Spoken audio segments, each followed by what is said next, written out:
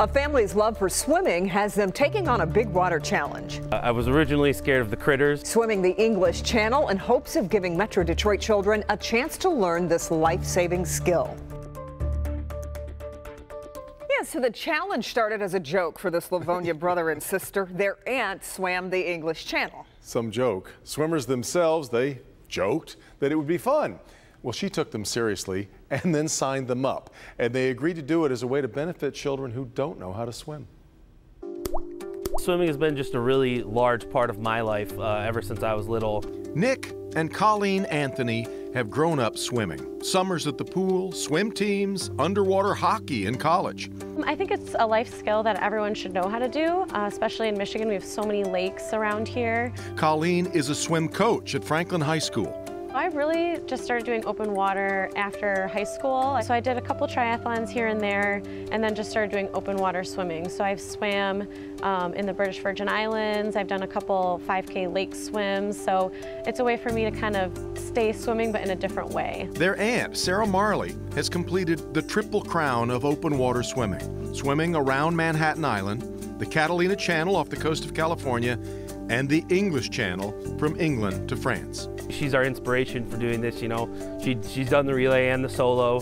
So just to kind of, you know, get out there and try a few things that, you know, she's done, it's really exciting. We caught up with Colleen and Nick at Botsford Park in Livonia, where they snuck in one more swim together before crossing the pond. They've been training since January to swim the English Channel in a relay with their Aunt Sarah. It's kind of scary, you know, swimming in the middle of the ocean. I was originally scared of the critters. The water's really cold. The water around a chilly 64 degrees. Nick started the 21 mile or more relay off the shore of Dover, England, each of them swimming an hour at a time. The Channel Swimming Association is the organization that puts all these on, and they have some rules, so you're not allowed to wear a wetsuit. It's kind of part of the challenge. So just regular swimsuits, um, a cap, goggles, and then they do have like uh, a balm that you can put on your skin to kind of insulate, but it's really just kind of, you know, the bare bones necessities of swimming. This is Colleen picking up the pace because of the surrounding jellyfish. And you literally just swim until your hour's up, and then you have to crawl out on the boat yourself. No one can help pull it or anything like that. So it's completely unassisted. Braving the waters of the channel and all the creatures that live in it, so worth it for Colleen, Nick, and their Aunt Sarah.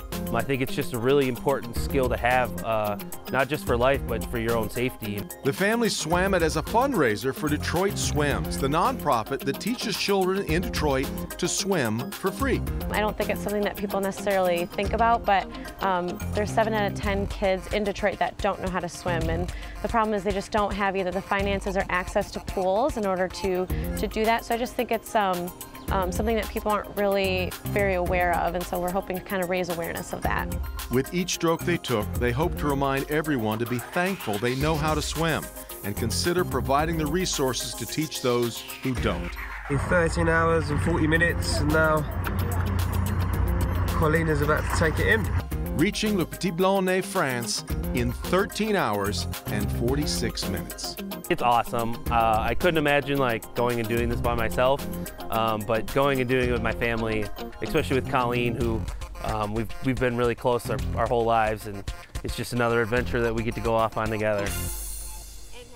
What an adventure it was. All the money raised will go directly to Detroit Swims, and we put a link to their CrowdRise fundraiser on our website at clickondetroit.com. Also, if we could, quick thank you to the Channel Swimming Association. They're the ones who provided pictures of their journey for us. And no wetsuit. All of that with the yes. bare minimum. Yes, oh which would help with both the temperature and the jellyfish a oh, little the bit jellyfish, too. you're Tough. right. Yes. Congratulations. Very impressed around yeah. here.